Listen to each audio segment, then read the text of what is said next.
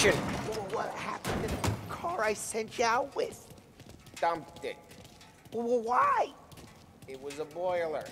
This one's better. A, a better car with a, a broken window? You ain't never killed nobody. What the just happened? This no longer a better car. What the fuck? what?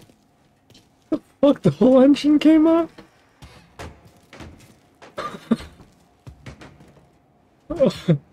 oh, okay.